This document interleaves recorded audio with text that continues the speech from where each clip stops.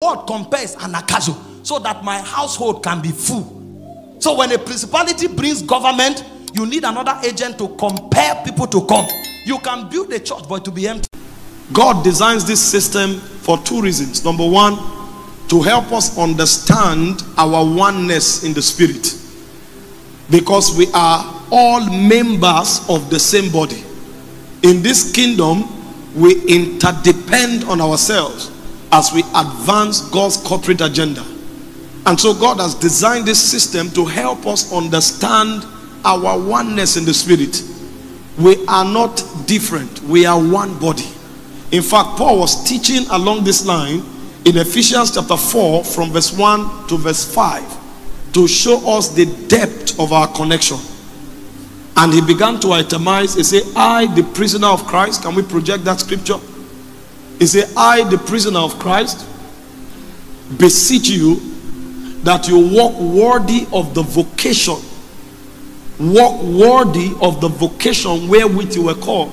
So Paul is telling us one of the ways to walk as a Christian is to walk in unity. Because as you go down verse 2, you see what Paul said. Verse 2. Maybe I should turn this way. He said, with all lowliness and meekness, with long suffering, forbearing one another in love. Forbearing one another in love. So, love is not just a feeling, love is a very serious responsibility for us to be able to coexist in unity and in love. Paul told us there must be humility, that's lowliness of heart. Project the scripture, don't bother about me. Number two, there must be meekness, the ability to put ourselves under authority. Number three, he said there must be long suffering. And number four, he said there must be forbearance. So you see that this thing goes to tell the level of our maturity. It's not just a feeling. You can't relate with the next person as one, except as you have matured to a point where your life models lowliness, meekness, forbearance, and long suffering. And then you go to verse 3, Paul continues to itemize. He said, endeavoring to keep the unity of the spirit in the bond of peace. And then he began to show us the depths of our oneness. He said, There is one body, one spirit, even as we are called into one hope of your calling. Verse 5 He said, one Lord, one faith, one baptism, and finally, verse 6 it told, told us one God and Father of all, who is above all, in all, and through all. So it is one God that superintends over all of us. It is one God that is in all of us, and it is one God that is working through all of us. So if you see one Christian manifest a dimension, it's not about the person, it's about the grace on his life. It's the same God that is in you that is at work in that. From this system is to acknowledge what they carry. That's why I say if you give to a prophet, not as a gift, in the name of a prophet, there are many times when you show up and then you just love people for loving them. But there are many times when you do something, you say, I'm not doing this one for you as my friend. I'm doing this one as a disciple. Your brother wants to go out for soul winning, and you say, Please, I have 10,000. Take. It's not a gift. I'm giving it to you as a laborer in the kingdom. This because there is a reward attached for acknowledging that grace. I see that you have passion for soul winning. If I want to buy you lunch, I can buy you. But this one, I'm giving to you for the purpose of soul winning. It's a grace that you carry. I'm honoring that grace. As you acknowledge it, something will happen to you. If you give to a prophet as a friend, you may not receive the blessing of the prophet. If you give to a disciple as a friend, you may not receive the blessing. And I'm not saying don't, but I'm saying there are times when you acknowledge people for what they carry. Sir, I know there is the healing unction on your life. I acknowledge it. Sir, I know there is a gift for wisdom on your life. I acknowledge it. The moment you acknowledge it, it starts working. It's not everything that takes prayer. Certain things takes acknowledgement. Some of you here have not acknowledged that your biological parent can change your story. You think he's a professor somewhere. You think you don't. The moment you acknowledge what somebody carries, the power begins to work. Receive a prophet in the name of a prophet. Receive a disciple. So, number one, honor the grace. Number two, acknowledge the grace. And number three, place a demand on it. Many people don't place demands. If you honor and acknowledge and you don't place demand, it may still not work. Sir, you are a prophet. Speak to me as a prophet. I'm tired of talking stories with you. And then you just see the oil begins to rise. I am sick. You have the grace for healing. Pray for me. I recognize that you have that grace. I honor that grace, but that's not enough. Speak over me. The world was created by faith. The just shall live by faith, and mountains move by faith. The devil know. He knows this truth. Habakkuk chapter 2, verse 4. Romans 1:17. The just shall live by faith. Hebrews 10:38. Galatians three 3:11. The just shall live by faith. Second Corinthians 5 7. We walk by faith, not by sight. Because faith is our insurance. And so every man who begins to function by faith, the devil knows that his matter is a forgotten matter. There's nothing he can do about the faith man. So he fights that system. He doesn't want you to function by faith because he knows the power of faith. And so if you want to say enough is enough, make sure you are saying it from the place of faith. Because that is when it can command result. And faith is not something you just wish there is a system that procures faith. If you want to walk in faith, there is a system that procures faith. And I give you five of them very quickly. Number one, the word. Romans 10 17. It says, Faith cometh by hearing, and hearing by the word of God. So every one of us seated here can make a mess of Satan if we open ourselves to the word of God. Anybody and everybody can become a faith giant. The question is, are you feeding on what brings faith? As you receive the word of faith, faith grows in your spirit. And when faith grows, you can talk and Satan will obey. Jesus was teaching in Mark 11 from verse 23 to 24. In fact, from verse 22, he said, Have this kind of faith. And Bible scholars told us, Jesus said, Have, have the God kind of faith. And he went further to tell us in verse 23 if there's a mountain before you, he says, Say unto that mountain, Be thou removed, be thou cast away into the sea. And if you shall not doubt in your heart, but you shall have what you believe, whatsoever thing you believe or declare shall come to pass. That means we are all mountain movers. The reason some of us are not moving mountain is because our faith is not activated. And our faith is not activated because we are not hearing the word of faith. Faith cometh by hearing. Faith comes. So if you hear, faith will come. And if faith come, you can level your mountain. This is a system of your advantage. Everybody here, because if God only allows it to be men, there may be a season of your life where you are isolated. Does that mean you are hopeless? No. That's why, in addition to the system of men, God also has intrinsic systems that can sustain us. You can go to a place where everybody is godless. You can go to a place where you are isolated. It doesn't mean you become hopeless. So when you don't find men, find faith. You need it. But the first way to build faith is by hearing the word. Faith cometh by hearing, and hearing by the word of God. The second way to build faith is by prayer. Jude verse 20. You dearly beloved, building up yourselves upon your most holy faith, praying in the Holy Ghost. Now, this is the technology. Only the word of God brings faith, but there are other technologies for energizing faith. So he didn't say receive faith by praying, he said build up yourself upon your most holy faith. That means you already have the faith, but that faith can be weak. For you to function at the highest level of your current faith, he said you must live a prayerful life. Most of us know, especially those of us who are ministers, you can go for one meeting now, pray for the dead, pray for the blind, pray for the deaf, they are healed. Two days later, you are going for another meeting and you are afraid of praying. Because eh, many things can dampen faith. Discouragements, challenges can dampen faith. Controversies can dampen faith. So a man can have the faith to open deaf ears. A man can have the faith to change situation, but he can be in a state of faith where he can't even talk. But when you pray, you are built up so that you function at the highest level of your faith. So the second thing that helps your faith to work is prayer. You receive faith by the word, you strengthen faith by the word, then you build up yourself in faith by prayer. Building up yourselves upon your most holy faith, praying in the Holy Ghost. Praying in the Holy Ghost. And the way this thing happens is that when you start praying, God begins to show you things.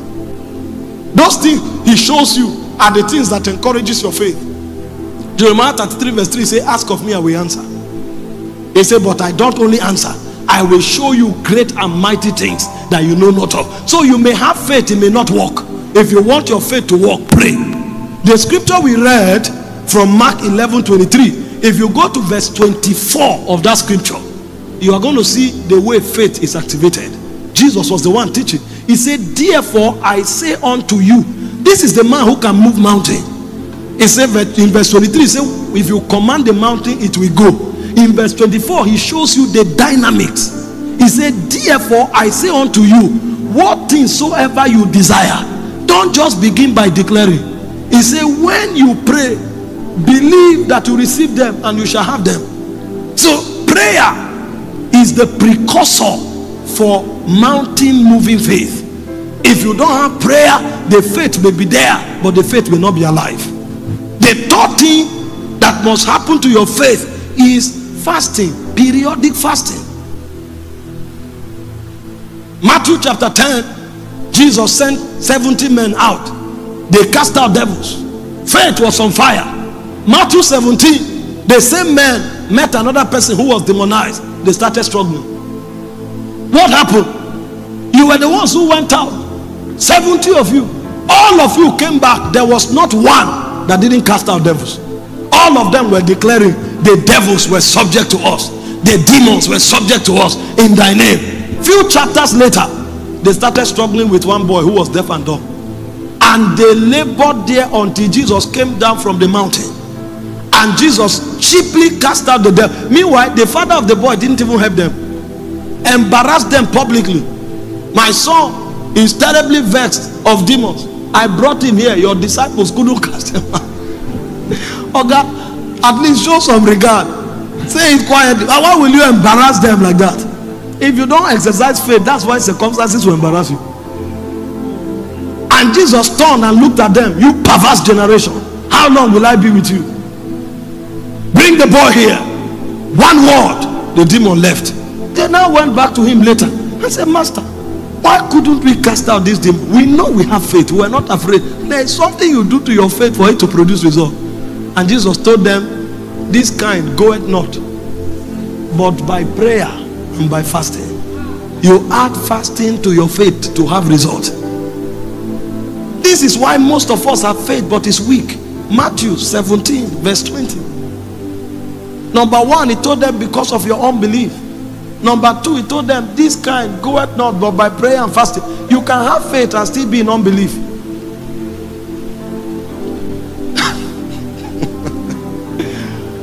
Every one of us who is born again, the Bible said God dealt to us the measure of faith. But things can make you walk in unbelief. And unbelief will negate your faith. If you want to deal with unbelief, you must fast and fast periodically. If you don't fast, your faith will be dormant. And faith is a system of advantage in the spirit. Number four, what energizes your faith? Trials. Some of the challenges you are going through are opportunities for you to exercise faith. That's why God kept quiet. You have prayed, it has not gone. It's a school. And I tell my people, anything God allows you to go through, He allowed it because your faith can handle it. Go and read Psalm 91, verse 7. He said, A thousand shall fall by your side, ten thousand by your right hand, it shall not come near you.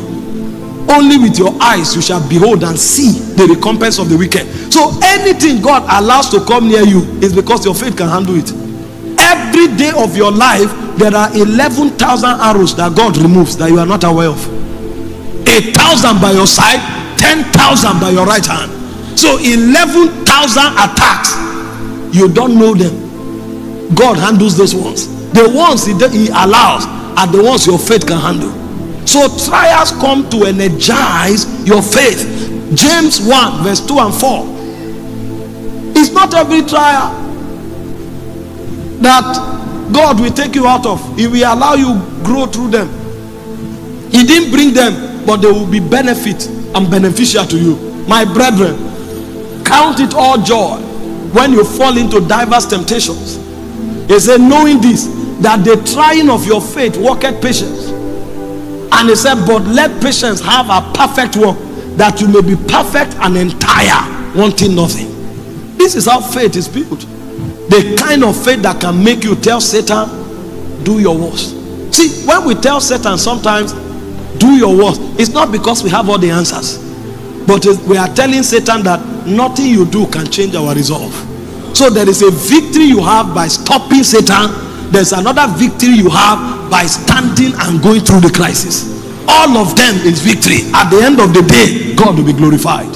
And so you don't just need the faith that sharpens you to get results. You also need the faith that toughens you to go through crisis. Some of the greatest of men you celebrate.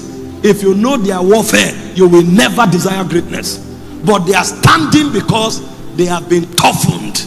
And that toughness is what equips them to lead us. Count it all joy when you go through diverse trials. At the end of the day, when you come out, then you will see that all those things will turn out to your advantage. And the last thing that energizes your faith are encounters. Encounters. When God wants to help your faith, He begins to give you encounters. Abraham was struggling to believe God until Genesis 15, verse 5 to 6. God told him, Step out and gave him an encounter. Look into the heavens, see the stars if you can number them. That is how your children will be. That was when Abraham believed God and it was counted to him for righteousness. These are systems of advantage. See, when we tell you enough is enough, when we tell Satan it can't happen again, we are talking from a premise. It's important for you to understand the premise that we are talking from. There are times when we tell Satan, get lost, because we know that even if we are overwhelmed, there are brothers and sisters around us to strengthen us. He said, bear one another's burden, fulfill the law of Christ. We know. And there are other times when we tell Satan, you can do nothing because our faith has prevailed. I quoted for us from First John 4, verse 4 yesterday. It said, This is the victory that overcomes the world, even our faith. First John 5 4, same scripture. This is the victory that overcomes the world. So when we are talking, there is a context. When we are talking, there is a premise. And the second premise is the premise of faith. The third system of advantage God has given to us is the system of the anointing. The system of the anointing. Acts 10 38. You see the way Jesus mesmerized Satan by the anointing. Little wonder, for 30 years, Jesus was just growing in virtue and character because he knew the superior, the supremacy of the anointing. He wasn't in a rush to talk. 30 years. Meanwhile, he had all the messages he needed from age 12. Because at the age of 12, he could already confound the doctors of the law. The Bible said for three days he sat with them in the temple. He asked them questions. They didn't answer. He was the one that answered the question. He was asking them questions and producing the answers. So at the age of 12, he was ready to take his word. But he knew the place of the anointing, so he waited until Matthew 3 from verse 15. He went to John's baptismal service and says to be baptized. And John said, No, I should be baptized of you. He says, Suffer it to be so for now. Thus it becometh us to fulfill all righteousness. Something needs to come upon me. And this baptism is the open door, is the access point. Because God had told John already that the one you see the Spirit descending upon like a dove is the Messiah. So he knew that the anointing won't come except as he goes through this process of humiliation. And so he humbled himself to be baptized. The moment he was baptized, Matthew 3 17, the Bible said the Spirit of God descended upon him like a dove. And that spirit drove him to the wilderness to be tempted. After he was tempted, Luke 4 14, he said he returned in the power of the Spirit. That was all he was waiting for. Jesus knew that the anointing is a system of advantage. So he routed the path that God designed for him to walk through to have the anointing. He waited 30 years for the anointing to come. The moment the anointing came, even before he spoke, the Bible said the land of Zebulun, the land of Naphtali, by the way of the sea, beyond Jordan, Galilee of the Gentiles, the people that sat in darkness had become a great light. A carpenter had changed to a great light. The anointing. And Luke 4 18, Jesus went into the synagogue. So you too can read the, the scroll. Yes. But I don't want to read it like the Pharisees. I was waiting for the anointing to read it. And the Bible said in Luke 4 18, he took the scroll of Isaiah and he located where it was written. The Spirit of the Lord is upon me, for he has anointed me to preach the gospel to the poor. He has sent me to heal the brokenhearted. My goodness, to preach deliverance to the captives, recovery of sight to the blind, and to set at liberty them that are bruised. All of this is the operation of the anointing. This is the advantage. When it talks, ears open, I see. Challenges change. Is the anointing at work. That's why he waited for the spirit of the Lord to be upon him. And when all his exploits was summarized in Acts 10 38, he said how God anointed Jesus of Nazareth with the Holy Ghost and power, who went about doing good, healing all that were oppressed of the devil, for God was with him. And I told us yesterday concerning the anointing, there are two things you must know. I gave us one yesterday. And the first thing I gave us is that you must know that you are anointed.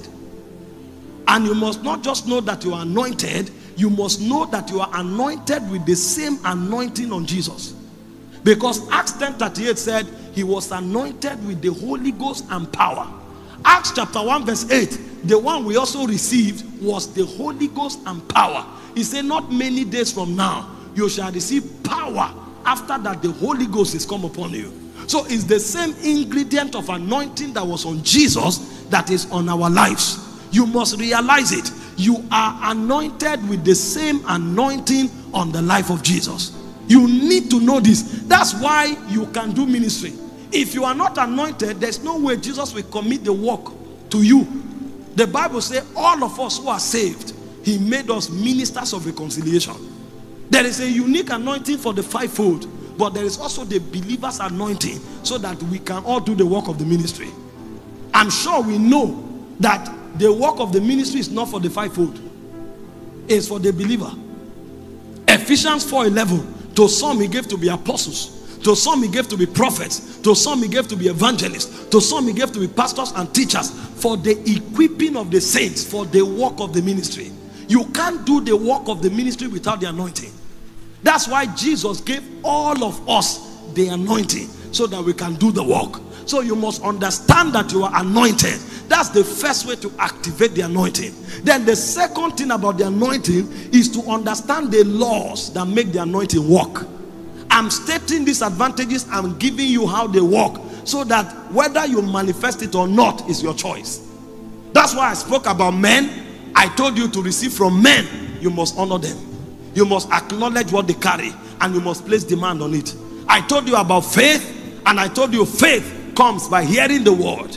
You exercise faith by prayer, by encounters. You exercise faith by by putting it to work. You exercise faith. I gave you all of those methods. Now I'm talking to you about the anointing. The anointing is on your life, but there are laws that make it work. And the first law of the anointing is that God must be with you. Acts 10:38, how God anointed Jesus of Nazareth with the Holy Ghost and power, who went about doing good, healing all that were oppressed of the devil. Why? For God was with him. God must be with you. I know theologically speaking, the Holy Ghost has come to be in you and with you forever. But that's not all there is about God being with you. Paul said, The grace of our Lord Jesus Christ, the love of God, and the communion of the Spirit. For the anointing to be active in your life, there is a demand for the communion of the Spirit. If you don't have the communion of the Spirit, the anointing will not work. Jesus had it. Mark 135. He said, Every day, a great while in the morning, he went to a solitary place. There he prayed. He had a communion. The apostles just wake up and they see him coming down from the mountain. He said, Let's go to the town.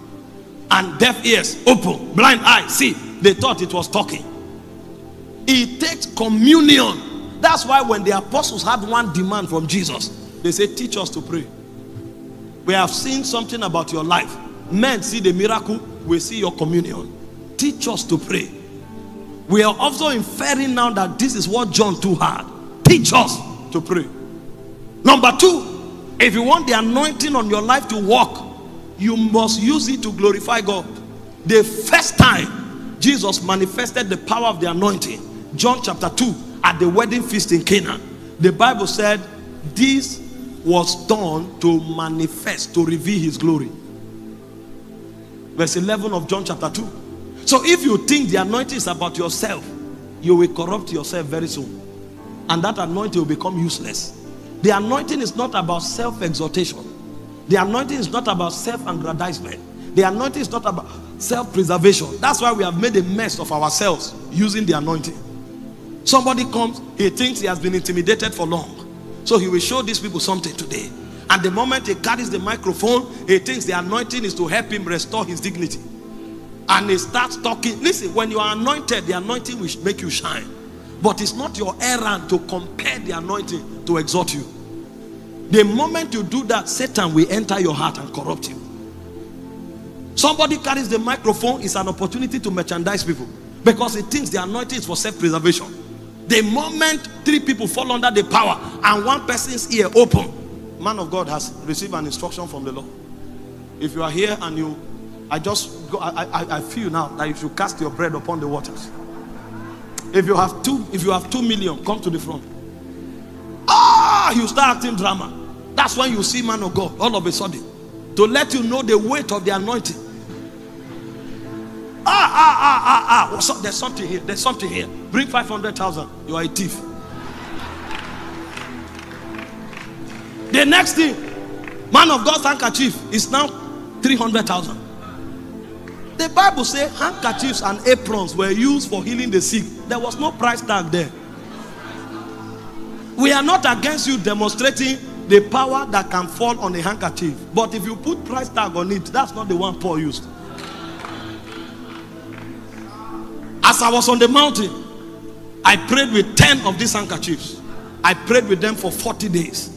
And God told me the power of God is on it. Now, I want to help just 10 people. If you have 2 million, pick one. And it will act as if, it will act as if that is a thief. When you see some people wrong, they, you know the problem. The anointing may be pure, but the vessel is corrupt. And you are not dealing only with the anointing, you are dealing with that corrupt vessel. That's why you hear some people, some people impart you, the next you start dreaming, you are having you are having fornication. And the next thing destroys your family. You don't know. They are corrupt vessels. These ones are they, they are they are Balaam on the altar. They are Balaam. Before you see water has come out, I'm not against it, but if you put money, you are a thief. Because the Bible didn't tell us they were sold. Allow people to give out of love for God. Allow them to give out of honor. When they mature, they will give for kingdom advancement. Teach them giving from those perspectives so that they will do it from the place of revelation. Some will tell you, ah, what is on them now? Come and touch my shoe. This is for fruit of womb. What I'm sensing now is for fruit of womb. Touch my shoe. And as we are touching it, bring 100,000. And you'll see people running. You know, it's difficult to address these things because it has become the order of the day.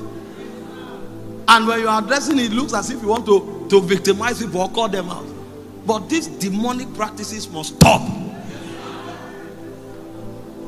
The goal of the anointing is to glorify God. That's the errand. The moment Jesus manifested the anointing, say he revealed his glory, not your glory. And then number three, if you want to stay in the anointing and function healthily in the anointing, it must be about people. Luke 4:18. The spirit of the Lord is upon me. That's the last time you heard me. The next thing you begin to see all of the errand of the anointing was about people. The anointing is on you, not for you. The spirit of the Lord is upon me because he has anointed me to preach the gospel to who? The poor. He has sent me to heal the brokenhearted, to preach deliverance to the captives, recovery of sight to the blind, set at liberty them that are bruised. The moment the anointing becomes about you, that's no longer the anointing of God. If you want to walk in the anointing, you must be conscious of others, the needs, the pains, the plight of others. That's why you were anointed. You were empowered for them. What God gives you for you is your faith. When they put the anointing on you, is primarily to bless others. And I'm not saying the anointing won't bless you, but I'm saying your focus should not be about self. Your focus should be about others. These are the laws that govern the anointing. God must be with you through the communion of the Spirit. Number two, God must be glorified. And number three, it must be about the upliftment of others, systems of advantage. And then number four, which is the last one I deal with before I leave here this morning, is the system of the prophetic. This is the easiest way God helps men. I've not seen any dimension in the scripture that produces results effortlessly and excellently like the prophetic. When the prophetic comes to play, it shows the majesty of God. Ezekiel 37, verse 1 to 14, you are going to see the brilliance of the prophetic. It said, The Spirit of the Lord took the prophet, the hand of the Lord was upon me, and he carried me out in the Spirit of the Lord and set me down in the midst of the valley, which was filled with bones, dry bones. The guy affirmed that the bones were really, really dry. And God asked him, Mortal man, can these bones live? So the man in question is not is not operating as a superstar. Is what is on him that shows the excellency of God. Mortal man, can these bones live? He said, Only thou knowest. And God began to instruct him, prophesy. And this man prophesied. Now you know that as far as man is concerned, death is the end of hopelessness. Now, when the man is not just dead, but he has decomposed, that is hopelessness to many powers. When he's not just decomposed, but the bones have dried up and they have detached, that is a situation that should not be attempted. But this man, by the instrumentality of the prophetic, God told him, Command the bones. My goodness. And the guy spoke to bones. For those of you who know a little bit about science, you are going to understand the impossibility of what was about to happen. These bones didn't just separate. When these bones separated, it means tendons too had decomposed. And when they separated, some of the bones would have grinded to powder. Air would have carried them to different regions. So we are talking things that are not possible. But the guy commanded every powdery bone that traveled by the air, the air that carried it had to bring it back and connect it to everywhere that was degraded. And the bones began to connect to themselves. Skull is coming from one side, limbs are coming from another side, and all the bones connected. And after bones connected, the sinews grew on them from nowhere. And you found a valley of dead men. That alone is scary. And God still commanded him. And the guy commanded the wind to fill them up. When they rose up, that's the one that humbled me. They didn't rise up as the men that died. When they rose up, they rose up as a mighty army. So, what the prophetic does is not to restore you to your normal state. The prophetic restore you to a superior dimension. That's the excellency of the prophetic. So, I'm not saying you were rich, you lost your money, and then the prophetic restores your money. That's not what I'm saying. When the prophetic restores what you lost, it's not only money that will come back, dignity will come back with it influence will come back with it. That's what the prophetic does. It brings you to an excelling realm of existence. And it's not just for individuals, even systems and territories can be uttered by the prophetic. In Second Kings chapter 6, we saw a situation where women were eating their children. I tell my people, the purest form of love among men is not between husband and wife. The purest form of love among men is between mother and child. That's the only unconditional love you will find on earth.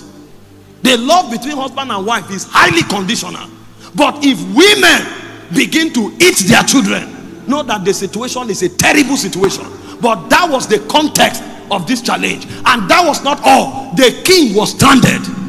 He didn't know what to do. They were besieged on every side. So if you even have money, your money is useless because you can't go anywhere to buy anything and they sent to Elisha. And Elisha shows up and tells them, By this time tomorrow. this is against every law of economics. By this time, the prime minister says, Sir, I too know God. Because he knew God enough to know about the window of heaven. He said, But even if the window of heaven were to open, this is impossible. And the prophet said, You will see it, you will not eat of it. By this time tomorrow, two cups of flour will be sold for one barley. One, one, one shekel. And one cup of one of shekel or of barley will be sold for one shekel. By this time tomorrow and the systems began to readjust so much so that it wasn't soldiers that brought deliverance. It wasn't king that brought deliverance. It was four lepers rejected men in society. That's the excellency of the prophetic. Men that were rejected in society they woke up suddenly. Why sit we here until we die? And they went to the camp of the enemy. Guess what happened? When they were coming that was where the mystery of the prophetic began. The Bible said the enemies were hearing four lepers walking like the sound of chariots. How can the feet of four lepers sound like an army? The prophetic. Because when they march, angels blasted shofars. When they march, they heard trumpet. The enemy ran from the land. See, when the prophetic comes, it doesn't matter who you have. It doesn't matter who you don't have. There may be no cloud, but the valley will be filled. That's the prophetic. It's the excellency of the prophetic. And trust me, in the New Testament, every one of us can prophesy. It's called the Rhema word. It can come, but there is a law for the prophetic. There's a law. You can change things by the prophetic. You can change things but there's a law. What's the law of the prophetic? Number one, speak as commanded. That's why you can't speak until you are prayed. There's a law. Speak as commanded. In Ezekiel 37, the man said, I prophesied not as I thought, not as I desired. I prophesied as I was commanded. If you speak what you hear, you will have the result. But the problem is that some of us have not studied enough to hear. Because if you wait, you will see. If you wait, you will hear. Jeremiah 33, verse 3 Ask of me, I will answer. I will show you great and mighty things that you know not of. So there most of us are, are walking empty. That's our problem. We are not hearing. Your problem is not the circumstance, your problem is the absence of the Rhema word. And so, no matter what is happening around you, forget it. Go and look for words. The day you catch words, you can change your situation. A man who carries words in his spirit is a man that cannot be defeated. I spoke, I prophesied as I was commanded. The second law of the prophetic is that you must talk in accordance to the will of God.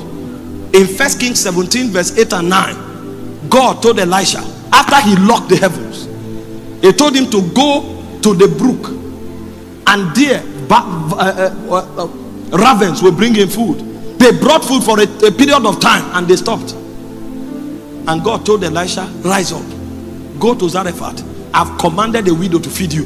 The man knew the will of God. First Kings 17, verse 8 and 9. The moment he knew the will of God, anything he says that is in alignment with that will will carry prophetic power. So the first way to operate the prophetic is to prophesy as commanded. The second way to operate the prophetic is to speak in alignment with the will of God.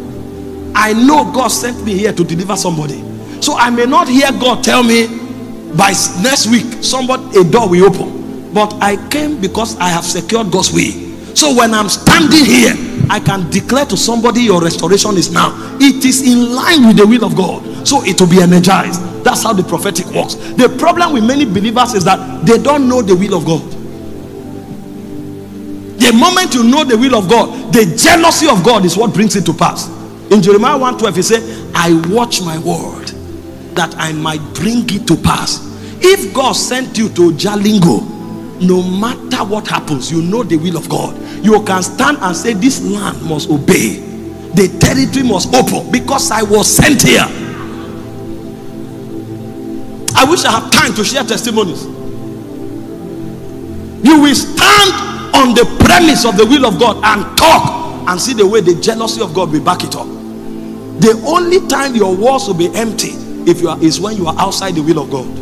If you are within the context of the will of God, when you talk, your words carry power.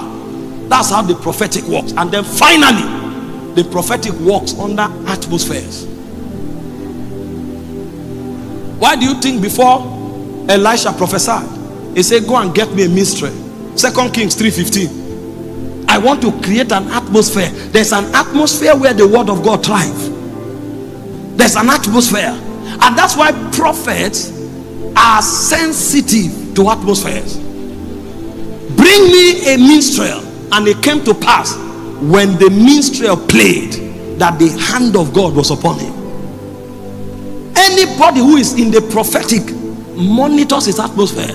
You can't come and speak negative things around him. You can't come and talk down people around him. You can't come and kill faith around him. He knows his strength is tied to his atmosphere. And you'll find most prophets, they are minstrels or they are sensitive to sound. They know there's something atmosphere does to the spirit of the prophetic.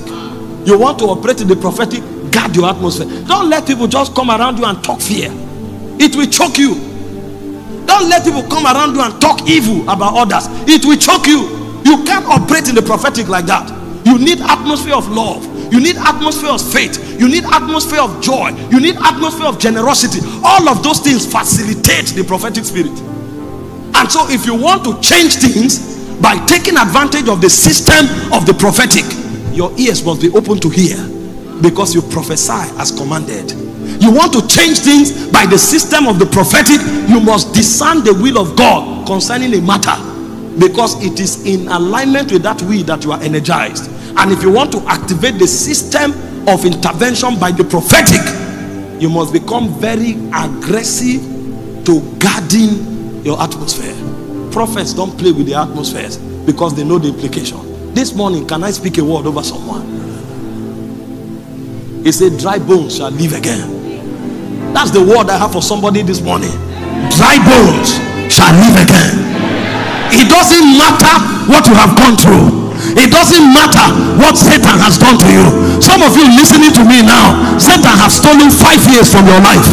Some of you listening to me now, Satan has put you at a point where it looks as if your life is finished. But I come to speak over you as one sent of God. Whatever it is that you have lost, I decree and declare restoration now. I say, I decree and declare restoration now. In the name of Jesus, I prophesy over you every aspect of your life that is dead. Let the power of resurrection come upon you now. I prophesy over you everything you have lost. Let there be a hundredfold restoration now. In the name of Jesus. The Bible says, although a tree be cut down, they say at the scent of water it will sprout again I don't know what has been cut off, cut down from your life, but I speak over you by the word of the Lord. In the name of Jesus, resurrect again. Resurrect again. Resurrect again. In the name of Jesus. And I don't know what Satan has used to surround you. Your family may have been besieged. Your health may have been besieged. Your possibility may have been besieged. But the same way the word of the Lord came and the whole territory was delivered, by this time tomorrow, I decree and declare everything shutting you out of opportunities, everything shutting you out of God's plan for your life. I command them to shatter. I command the gates to open like the walls of Jericho. I command them to collapse now in the name of Jesus. He said, A little one shall be a thousand, a small one shall be a great nation. I decree over you right now rise up and become a city set upon a hill. Rise up and become a city set upon a hill that cannot be hid. In the name of Jesus, I decree over you now let your light so shine before men. Let them see your glory, let them see your good works and glorify your Father